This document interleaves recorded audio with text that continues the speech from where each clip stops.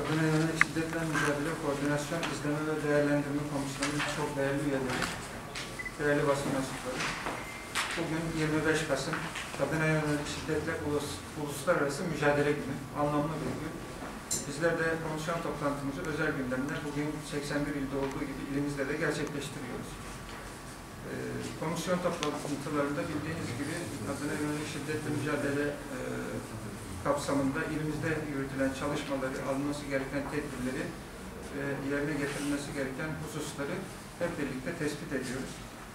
Ee, Bugün münasebetiyle e, bazı konularda e, açıklamalar yapmak istiyorum. Ee, İnsana ve canlılara karşı şiddet hastalıklı ruh halinin dışa yansımasıdır.